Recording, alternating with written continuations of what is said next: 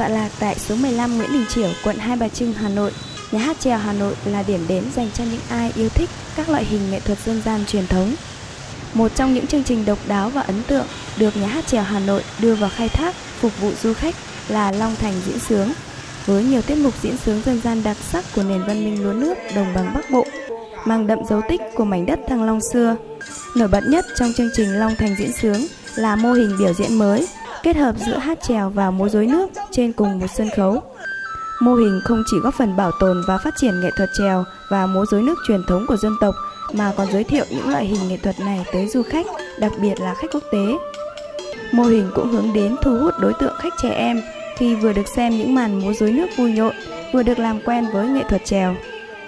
Cùng có nguồn gốc từ vùng đồng bằng Bắc Bộ nên trèo và rối nước có nhiều điểm tương đồng, gắn bó mật thiết với nhau. Trèo chính là phần âm nhạc, ngôn ngữ, tích truyện của rối nước.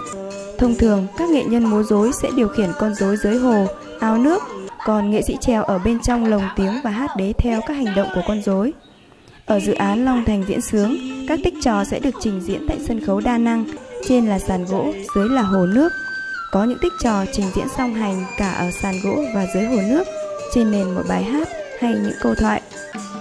Đặc biệt, các nghệ sĩ trèo sẽ trực tiếp hát, nói, điều khiển con rối bằng tay để thể hiện hành động của nhân vật, mang đến cho người xem cảm xúc chân thực và gần gũi.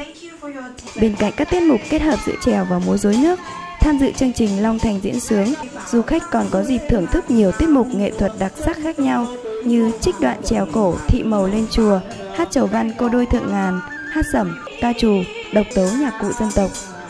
Chương trình Long Thành diễn sướng biểu diễn từ 17 giờ hàng ngày tại trụ sở nhà hát trèo Hà Nội với giá vé 150.000 đồng một người.